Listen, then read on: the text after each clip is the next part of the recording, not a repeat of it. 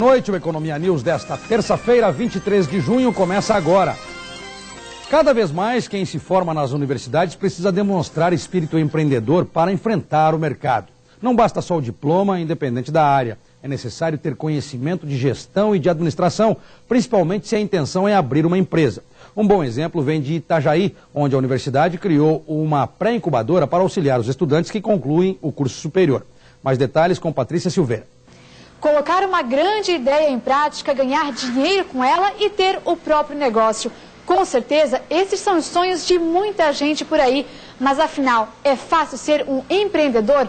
Quem vai falar com a gente sobre isso é o gerente da pré-incubadora da Univale, que tem bastante experiência sobre isso, ensina os outros a ser empreendedor, né? Que é o Edemir Manuel dos Santos.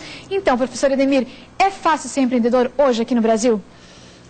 É, muitos querem, né, mas poucos conseguem porque tem que ter um espírito e comportamento de empreendedor, né? Então, dentro da pré-incubadora, a gente recebe muitas propostas, tá? E, e, tem algumas, então, que se perdem no caminho, porque, na realidade, não tem esse espírito empreendedor, esse comportamento de buscar realmente, né, independente dos obstáculos que apareçam. E como não se perder no caminho? Qual é o primeiro passo para conseguir seguir aí os planos da maneira que você espera? Acho que o primeiro passo seria então realmente internalizar a ideia, a proposta de constituir uma empresa tá? e ser, querer ser empresário. E colocar também no papel os objetivos também é importante, né, professor? É, de, no segundo momento, então, seria é, elaborar um plano de negócios, que nada mais é do que o planejamento desse futuro empreendimento. E dá de procurar o pessoal da Univale, quem procura na hora de querer abrir um negócio? É, a universidade, em parceria com a FAPESC, a Sebra, o SEBRAE e outros parceiros, tem dentro de suas instalações a, o que nós chamamos de movimento de empreendedorismo da Univale.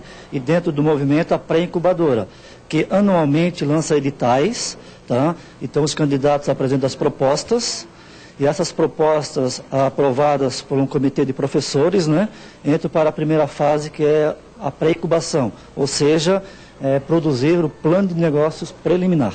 Tá bom, muito obrigada. E eu vou conversar agora com alguns que já são empreendedores para contar um pouquinho dessa experiência. Primeiro com o Marcelo Pipel da Silva, sócio da Marítimos, né, Marcelo? O que, que vocês fazem na Marítimos?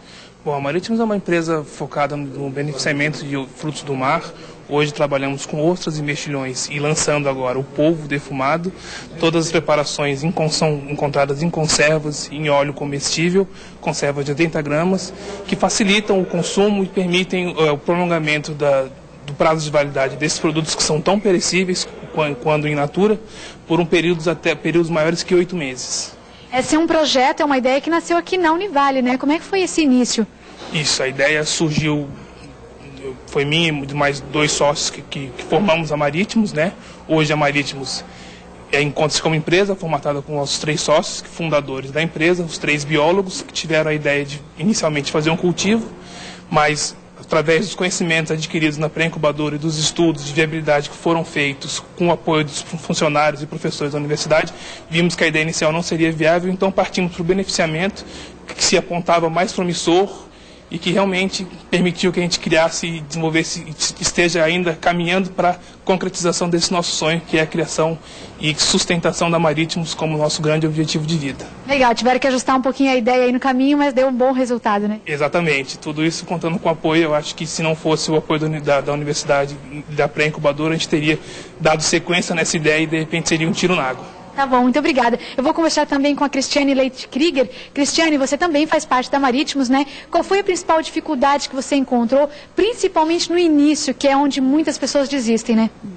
Na verdade, assim, é, nós somos biólogos então a nossa formação é muito técnica, né? Então a nossa maior dificuldade no início foi com essa parte administrativa mesmo, né? De fazer o plano de negócios, é, né? A parte de testes de produto ainda foi mais fácil, porque a gente tinha um pouco mais conhecimento, mas essa parte administrativa foi a nossa maior dificuldade. E aí que a incubadora entrou então como é, essencial nessa etapa para o nosso crescimento e para né, a gente conseguir realmente é, fazer com que a Marítimos hoje tivesse, né? Como empresa, a gente tivesse a Marítimos como empresa mesmo. Tá bom, obrigada. Vou conversar também com mais um empreendedor, que é o César Augusto Stramoski. Qual é o seu empreendimento? É a Ambiência Assessoria Ambiental ela lida justamente com essa parte de assessoria ambiental e tem como principal foco a gestão de recursos e aumento de ecoeficiência em unidades, tanto produtivas como comerciais ou residenciais. Você também é biólogo?